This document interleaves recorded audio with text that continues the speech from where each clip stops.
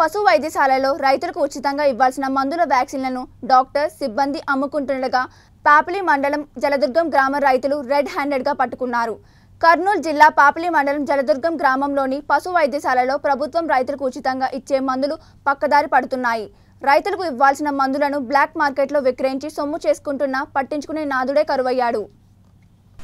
ప్యాపిలి మండలం జలదుర్గం గ్రామంలో ఉన్న పశు వైద్యశాలలో పశు వైద్యాధికారి అనాధికారికంగా జలదుర్గం గ్రామానికి చెందిన ఒక వ్యక్తిని నియమించి అతనితో వచ్చిరాని పశు వైద్యం కొనసాగిస్తున్నారని వార్తలు వస్తున్నాయి. పశు వైద్యశాలలో పనిచేస్తున్న వ్యక్తి గొర్రెలకు ప్రభుత్వం ఉచితంగా పంపిణీ చేసే వ్యాక్సిన్ని జలదుర్గం గ్రామానికి చెందిన రైతులకు కాకుండా సంబంధం లేని కమలాపురం గ్రామానికి చెందిన గొర్రెల రైతుకు వ్యాక్సిన్ అమ్ముతుండగా జలదుర్గం గ్రామానికి చెందిన రైతులు కురవా చిక్కం నాగేశ్వరరావు నాగార్జున అనే రైతులు ఆ డాక్టర్ను పట్టుకున్నారు. ఈ విషయంపై పశు వైద్యశాల డాక్టర్ విద్యాసాగర్ను రైతులు అందరూ కలిసి నిలదీశారు. మేమెప్పుడు అడిగినా వ్యాక్సిన్ లేదని చెప్పి బయట వారికి అక్రమంగా డబ్బులకి ఎలా అమ్ముతున్నారని నిలదీయగా రైతులపై డాక్టర్ ఆగ్రహం వ్యక్తం చేశారు. పరిస్థితి నెలకొందని మేము అమ్మినట్లు మీ దగ్గర ఏమైనా ఆధారాలు ఉన్నాయా అని ప్రశ్నించారని దీనికి రైతులు ఆధారాలతో పట్టుబడిన మందులు చూపించడంతో అంతవరకు ససేమిరా అని అంగీకరించకపోవటం చివరికి ఎవరికైనా చెప్పుకోండి ఎవరికైనా ఫిర్యాదు చేసుకోండి ఏమైనా చెప్పుకోండి అంటూ అంతటితో ఆగక ఒక లెటర్ కూడా రాసి మళ్ళీ ఆ లెటర్ను డాక్టర్ వెనక్కి తీసుకోవడం కూడా విశేషం.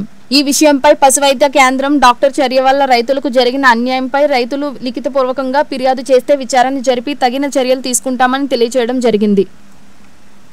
గ్రామం. రైతుని నేను జీవాలు మూడు వందల జీవాలు ఉన్నాయి. నా పేరు నాగేశ్వరరావు. నేను చేసే మనం గొర్రెలలోనే పెద్ద చేసిన నేను ఇరవై సంవత్సరాలైంది గొర్రెలు పెట్టుకొని. దీనికి ఈ డాక్టర్ వచ్చినారంటే ఒక సంవత్సరంన్నర అయింది మమ్మల్ని. సతాయిస్తున్నాడు. మందులు ఏది అందడం లేదు.